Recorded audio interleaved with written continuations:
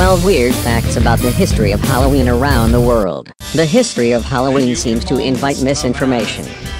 The entire holiday is fraught with it. Just like the mask children wear every October 31st, Halloween itself has worn many different faces in its enchantment. Urban legends breathlessly suggest that children are in danger of being given apples full of razor blades, that there is a vile Satanist lurking behind every mailbox, and that all unfamiliar looking candy is actually ecstasy, apparently handed out by some poor soul overburdened with too much MDMA lying around. In reality, of course, there is essentially no such thing as tainted candy, and you are roughly as likely to be the victim of human sacrifice as you are to be slain by a meteorite. Halloween in history is just as murky. It has a few separate origin points that all tie together.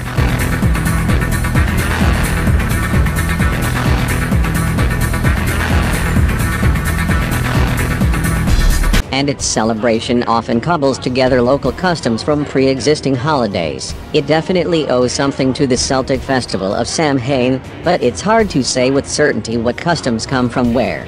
A lot of the only written records come from the Romans, who considered every non-Roman a wild-eyed barbarian maniac. We can at least be sure that the early Halloween was not, as has been suggested, a holiday when druids would show up at your house and kill your sheep unless you gave them money. Welcome to DLP Weird. We owe the Irish and Scots for having a recognizable Halloween in America at all. The Protestant colonies were not exactly receptive to the idea of Halloween.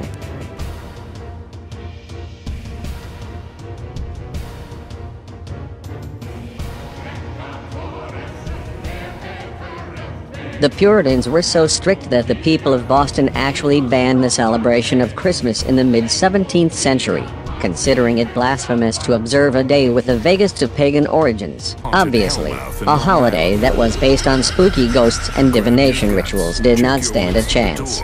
And plunge into the living nightmares of America's scariest Halloween attractions. Prepare to meet your doom. Parts of colonial America did have festivities, but they weren't widespread, and most Americans viewed Halloween as strange and foreign. Later immigrants, especially Irish immigrants fleeing the potato famine in the mid-19th century, brought over customs that were absent in the States and helped universalize a holiday that might otherwise never have truly caught on.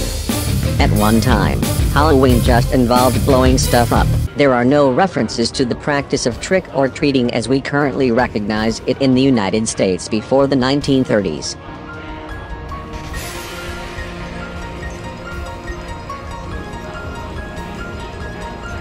Instead, early accounts in America mostly focus on the mischief, which ranged from harmless to dangerous. Knocking over outhouses was popular.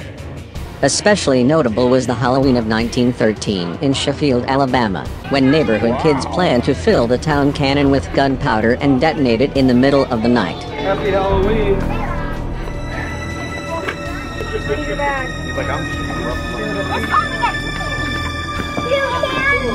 The kids were, unsurprisingly, not experts at measuring out gunpowder, and they instead set off an explosion so loud that townspeople assumed they were experiencing an earthquake.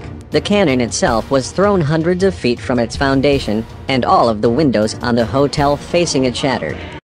Jack-o'-lanterns were originally carved from turnips.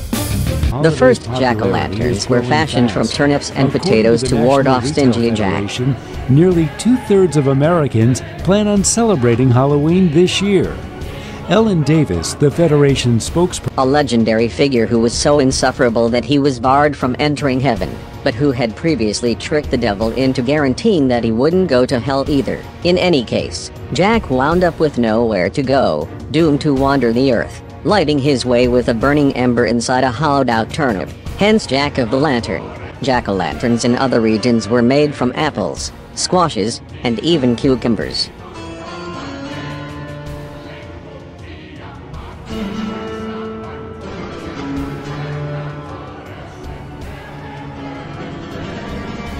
Similarly, Germany has Rubengeister, root vegetable ghosts, carved from potatoes or beets.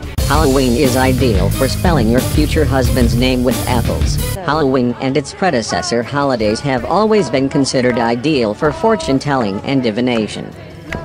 On Halloween, Chris Thompson's fellow pagans summon ancient deities to their Samhain celebration, a night for invoking. Samhain was, after all, a time when the veil between the worlds of the living and the dead was at its thinnest. Naturally, the best application of this access to the realm of the dead was to ask the ghosts which boy you would marry. A woman would pare an apple, throw the skin over her shoulder, and its resulting shape would indicate the initial of her future husband's name.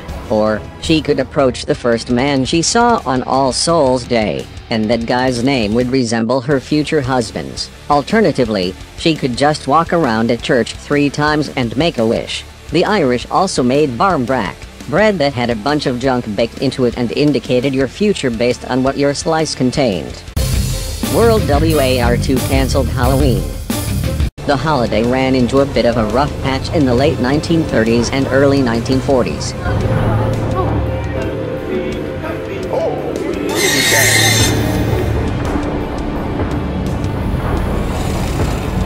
In 1938, on October 30th, Orson Welles famously read a radio adaptation of The War of the Worlds on the air, and thereby convinced millions of people that they were under attack by Martians. A few years later, once America was fully involved in World War II, some Halloween celebrations were canceled entirely. Chicago's City Council voted to cancel Halloween for the duration of the war in 1942, not only because of all of the mischief associated with the holiday, but also due to sugar rationing. Anoka, Minnesota was home to the first citywide Halloween celebration, a city of 20,000 in southern Minnesota. Anoka is the first American to distract roving youths from Halloween mischief with an organized celebration.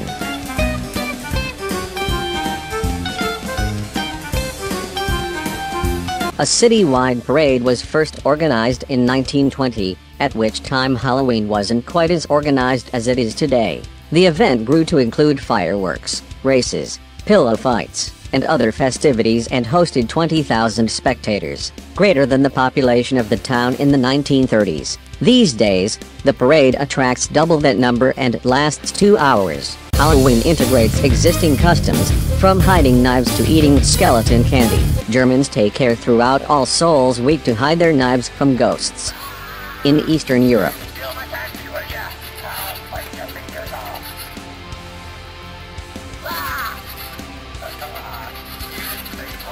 All Souls Day involves leaving doors open and empty chairs by the hearth for the ghosts of one's ancestors. Mexico celebrates Dia de los Muertos, a fusion of a pre-Columbian Aztec festival honoring the goddess Mictlantecuhtli and Catholic beliefs brought by the conquistadors.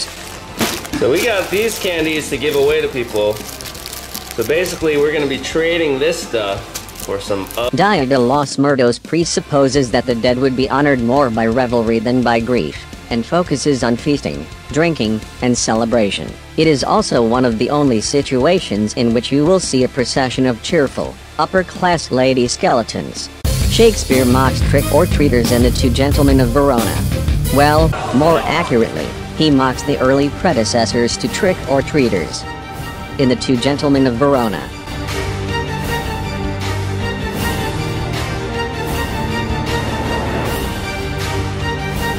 Valentine's servant Speed teases him for his lovesickness, saying that Valentine has started to sigh like a schoolboy, to watch, like one that fears robbing. To speak pooling, like a beggar at Hallowmas. The comparison to a whiny Hallowmas beggar is a reference to the medieval custom of souling, which involved traveling door to door on All Hallows Eve and singing for the owner of the house or praying for his family. The compensation for the beggar's prayers was supposed to be a soul cake a cake topped with a cross design and sweetened with molasses, nutmeg, raisins, or cinnamon. The tradition still exists in Portugal as Pão por Deus, when children go door to door reciting rhymes in return for bread or sweets. We owe some Halloween symbology to mosquitoes. Perhaps. Most Halloween symbols have a pretty clear origin. Black cats, for example, were thought to be witches' familiars, or even shape-shifted witches themselves, going back to the Middle Ages.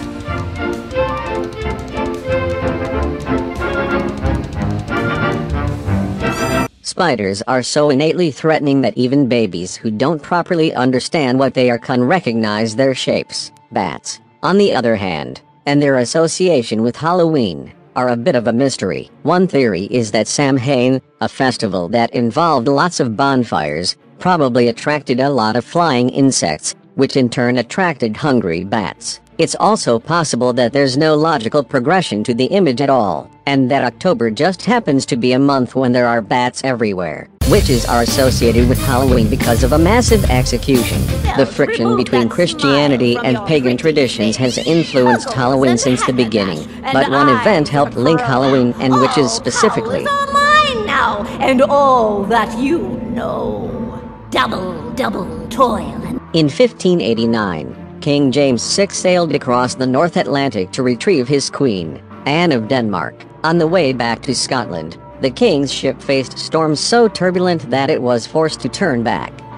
Naturally, everyone concluded that the storms were caused by witches. More specifically, they concluded that the devil himself had appeared in North Berwick on Halloween, 1590.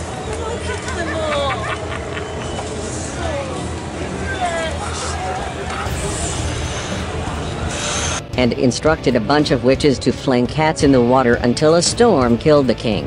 This ingenious plan is only attested by the confessions of the dozens of people who tortured until they admitted colluding with the devil in the North Berwick Church. In the end, over a hundred people were arrested. Halloween was once overseen by a Lord of Misrule, also known as the Abbot of Unreason in Scotland. The Lord of Misrule was appointed on All Hallows Eve for the upcoming Christmas season.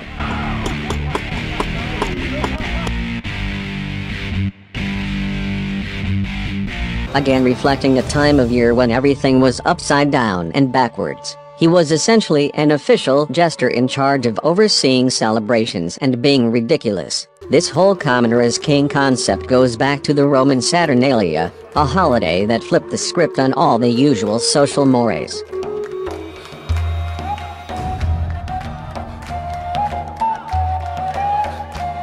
Saturnalia shares similarities with Babylonian mock king celebrations, although these were not quite as fun. The fake king got to live as royalty for five days and was then scourged and executed. The oldest Halloween traditions involved cross-dressing. Dressing up as something else has remained central to Halloween since its inception. has worn many different faces in its enchanting 3,000-year history. The Halloween we know today all started The Celts blackened their faces and wore animal skins as costumes. In some cases, they would carry a horse's skull or a wooden horse head with working mechanical jaws on a pole. Keeping with the general Samhain theme of inversion and disorder, the usual social order was inverted, men could disrespect their elders, and gender norms could be ignored. The most obvious reflection of this was dressing up as the opposite sex. In Wales specifically, young men dressed in women's clothes and were referred to as guratrid. Let's show us your feeling about this video and don't forget to subscribe. Thanks for your watching.